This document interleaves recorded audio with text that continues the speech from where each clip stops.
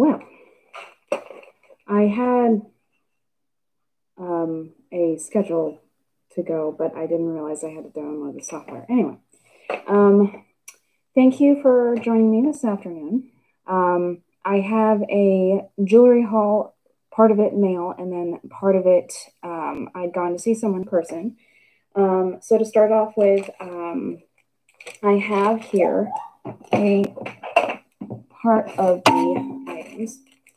So I'd gone to an online auction and this lady had bought something, some things from a lady who had her own closeout.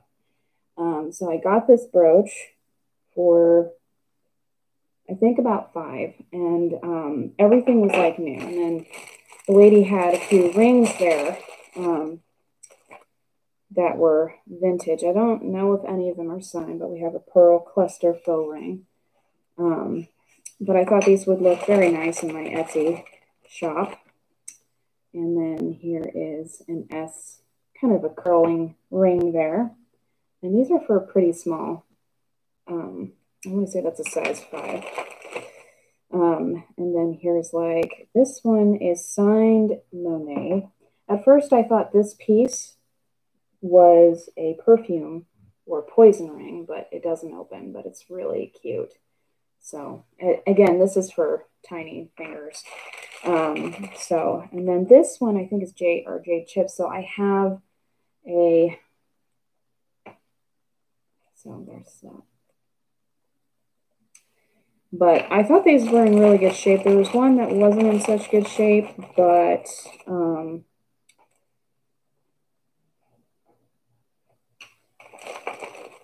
like I say, um, there's that piece. And these are really elegant. The lady who had them must have had uh, kind of fairy fingers. Um, I mean, slim fingers. And then the rest of them, I believe I got 10 rings in total. Here is another vintage piece. And then a nice kind of um, faux piece. Really cute. So, and then this one feels like it's, I don't know, bent backwards, but it is a Sarah Coventry uh, ring. And then this one right here is, um, I snatched this for about five or six, but it's in really good shape. Sorry, that's my son. Um, this is oh, Candyland. I believe this is called Candyland, but everything was like in new condition with boxes. She had Whiting and Davis and stuff, um, but really nice uh, vintage, almost new, almost like new. So um, that'll probably go in my Etsy shop. And I think so far that is the haul from that. And then um, I'd gone to see another lady uh, locally, very nice, and she had this really good collection. She says she has more stuff, so uh, I'm looking in the future to see what else she has. So I picked up a couple of watches, um, and she basically um, had the stuff in storage, but this is from the 1991 Dan Curtis Productions. So this is from the vintage show um, Dark Shadows. Uh, Dark Shadows was penned by a gentleman, um, and it went on for 26 seasons, and then it had like a couple movies and then a, a reboot in the 1990s. So here, um, this has never been taken out, um, but this is supposed to be uh, one of the main characters uh, is Angelique. So um, I, she said that most of the items just need a battery. So um, like I say, I think I got this for about a dollar, and um, to me, it was a good deal. And then she had these pins that she brought out from these boards, and there are some things that my husband got that were nice, like this one. Nina Ricci. I believe she's an Avon designer.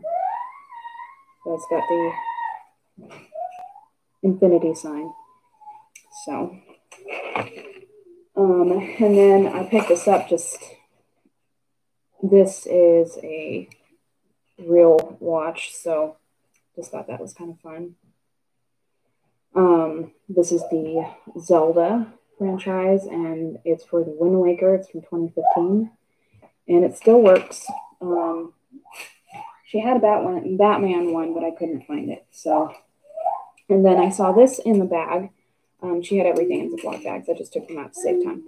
Um, this is a Sus Suzanne, but the brand is Lucky brand with the clover right here.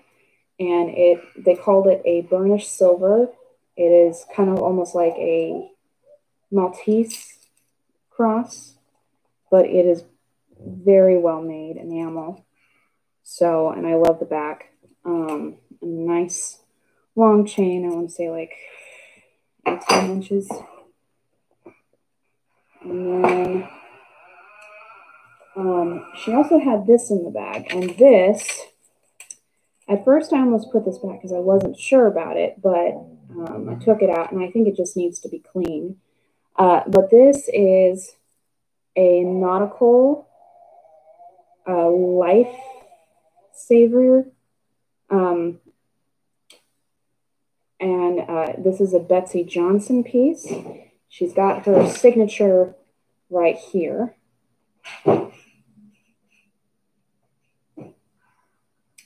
And um, when I looked this up, I found on comps that this very same necklace, dark blue and everything, sold for at least a hundred. Um, and the listing said that it had been retired and rare. So I don't know. Um, but like I say, I I just think it needs to be cleaned up. And of course, I list in my store, you know, the conditions and items. I'm very careful about how I um, of how I uh, pick things. So just a really nice long chain. But if I could get 50 for this, that would pay for most of the items. And for the Angelique watch, I couldn't find anything similar except for WorthPoint um, from about a couple years ago, but uh, I don't have a membership there. So, um, but there was a Collins um, or Barnabas Collins. Uh, they were asking at least 60, and they each have their own kind of um, um, theme. Like this is supposed to be probably playing the tune of the show, whereas the other one, the Barnabas one, would show his real face and stuff. Um, so, and then I found the pocket watch cover to this. Um, and then there's like a little cross. I showed the um, Sears one in another video, but I found the cap to the to the or the lid to that, and I'm like, yay, I found it. So I can sell it that way. So, and then this is a little cross here. It's like a new. Um, I don't see.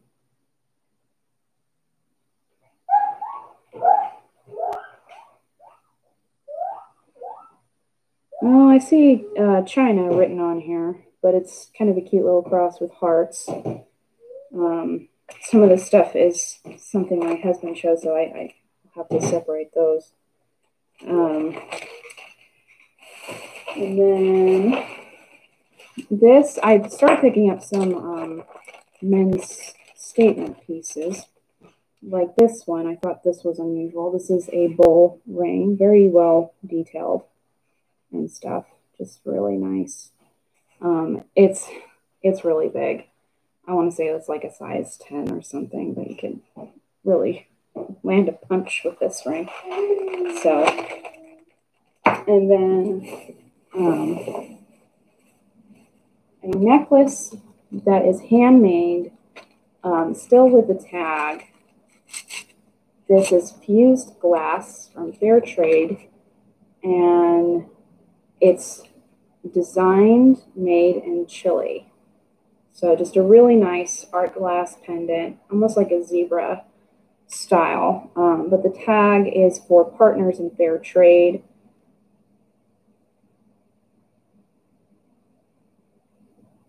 And it just talks about the artist and stuff. So I thought that was kind of neat. And then this thing was kind of unusual. I will need to clean this one up a little bit, but it, I don't normally pick these up. But this is by the brand Black, no, no, Rock.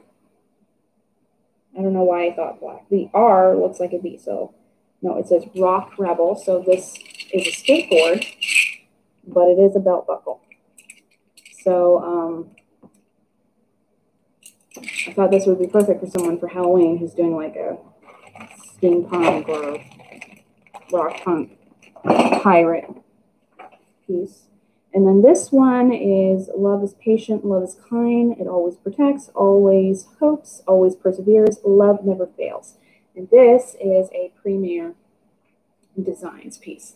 Like I said, uh, she had some really good stuff, and I can't wait to see what she um, is going to pull out because she says she has like a ton of stuff, and um, we just kind of worked around schedule a little lately because I've just got a lot of stuff, and then um, got a bunch of lamp work pendants.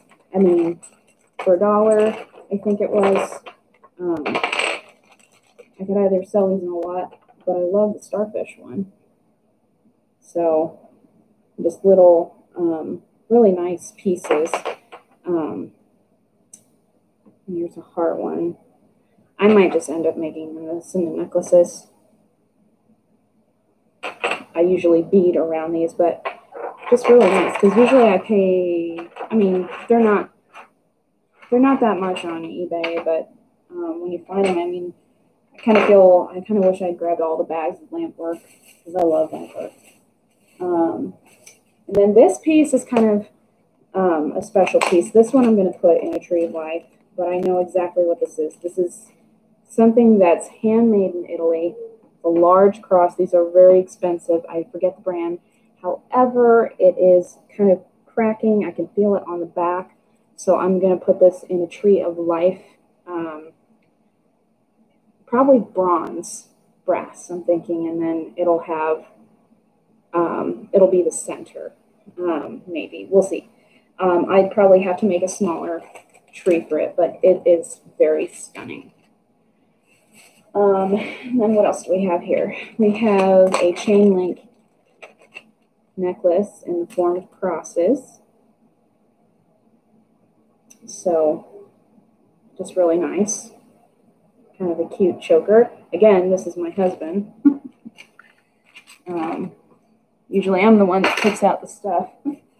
Um, and then I'm not sure what this is, but this was kind of an interesting symbol. No, it's a wind chime. That's it. That's a wind chime necklace. And I don't think it's signed. It's really nice. Um, so there's that piece. I don't think there's anything. Oh, yes. Here is a pendant that I picked up. Um, well, this one's like a keychain thing. This is a pig. Um, this was just in there. Um, and then this is a um, either laser or hand engraved uh, pendant. This is from India. It's a mythological figure. Um, I think it's like a moon. I don't know. Um, but it, the style kind of also reminds me a little bit of a Russian art, and I think that's why I was kind of drawn to it. Um, just really pretty and lovely. I'll probably have to do more research on this piece. I still haven't put up the other pieces that I have that I showed you guys in the last haul. Um, Um, and then um, a couple of things here. I picked up and I saw this through um, the bag, but I recognized the Kate Spade. So this is a Kate Spade bangle, enamel, gold. And she has really good high quality stuff. So um, it has just a New York minute and Kate Spade, New York. Um, it's in really good shape. It doesn't have any, I think, wear or in, in, in, enamel missing. Uh, so I've seen this go anywhere from 30 to $50. So to pick it up um, along with the Betsey Johnson made me very happy. Um, and then she had all of these pins in bags. So I started looking through them and I started asking her just offhand if she had Disney. If she did, she brought that out because um, I had gotten the Eeyore stuff from her. But here are kind of stamp ones. And um, you got the American flag. I thought this would be perfect to put into the shop with everything election going on and stuff. How patriotic would that be to have that? So I don't know if I'm going to sell them separately or put them individually. Um, and then I loved these. I love this rose one. So these are stamps, but they're enamel pins. And some of them, you know, you know it, it just depends. Uh, some of them can go for good money. So here's a USPS one. That's nice. Um, but this one says 200 years of postal service by 15 cents. I mean, very cute and vintage style. So um, for a dollar, like I say. Um, and then I, I don't know if I showed this one. No, I don't think so.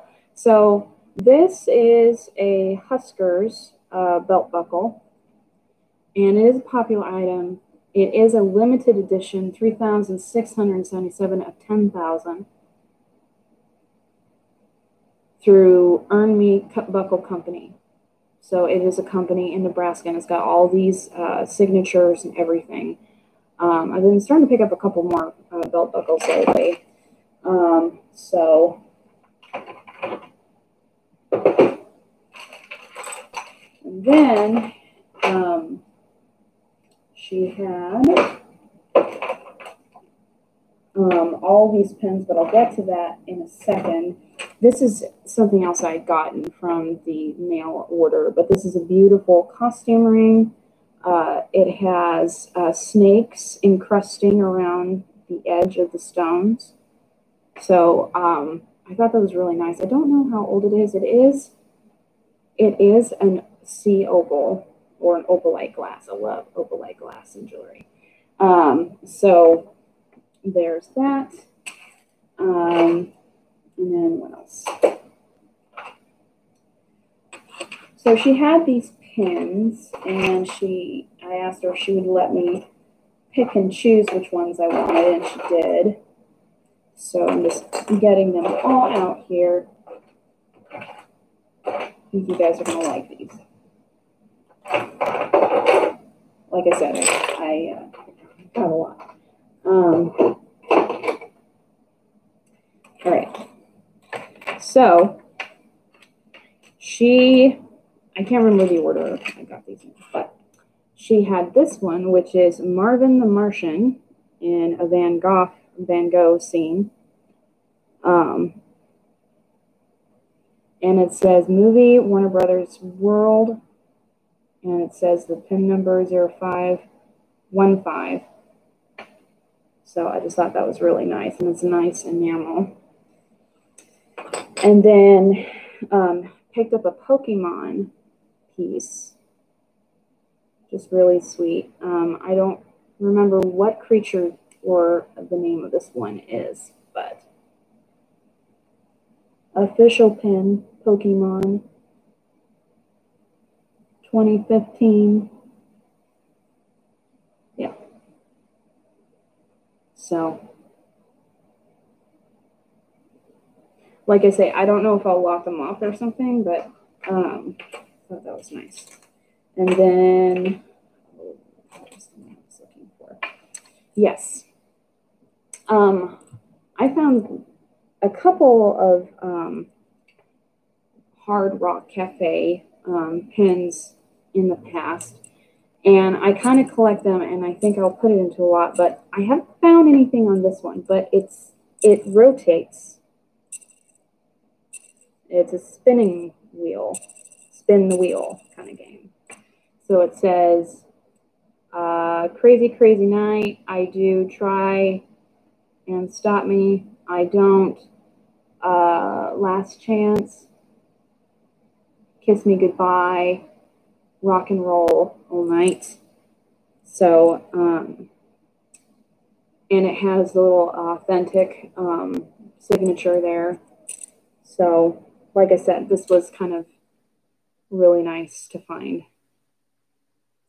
Um, nice big pin. And then um, everything was a dollar um, for these pens. And then I, I mean a dollar a piece.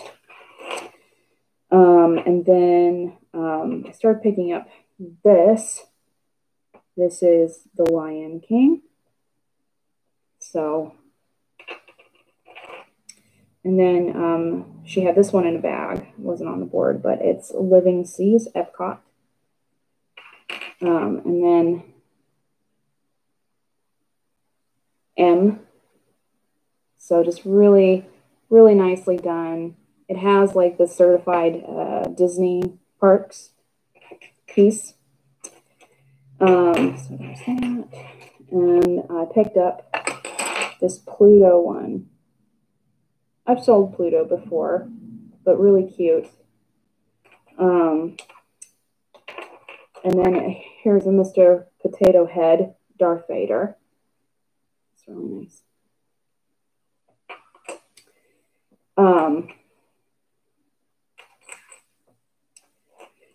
and this one was pretty cute. This is a sunglasses mini one. And here is a 606 pen.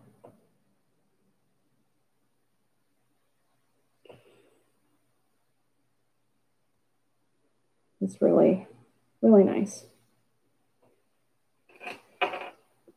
And then here's another Winnie the Pooh one with his pots of honey, rumbly in my tummy. And then here is another uh, kind of a Looney Tunes one. This is Pepe Le Pew. And um, here was a Mickey one, like the old time Mickey mouse. And then this is a Tinkerbell one, kind of like on an iPod or something. And it actually has the headphones, just so cute. And then um, Neat and Pretty. Uh, this is an older one, I think. So there's that. And um, here's a Cinderella one. Think this came out when the new remake came out because it says, I think it says 2015 or 2016. Um, and then here is Snow White and the Seven Dwarfs pin. So, and then here is Leia, or Minnie as Leia, Star Wars pen. And then um, this one was probably my favorite. This is kind of like a 3D dimensional. There, I think there have been several versions of this in the past, but it says Walt Disney World 1971. Um, and it's got, this is a one issued in 2008. So, but it's really heraldic and really pretty. And then a couple of others. Um, this was a Paris enamel pin. Um, Tower Eiffel. Made in France. So this is probably a souvenir piece. And then the next two were really good finds, I think, because this is a Swarovski pin. That's a whale, and it has the signature of the swan on the back. I work a lot with uh, Swarovski. I mean, I'm a hobbyist, so I know crystals a little bit. Um, and then here is a patriotic one. Just really, really incredible detail. I'm always impressed with their work. Um, so I think this I've seen between 20 to 30, this for 20 to 30. So, um, and then this for 40, and then the enamel other pins can go anywhere from five to $10. So all in all, um, and I think I have a couple more pieces. This one was really cool. I found another compact. Um, this is the Arizona State, so it's got all of the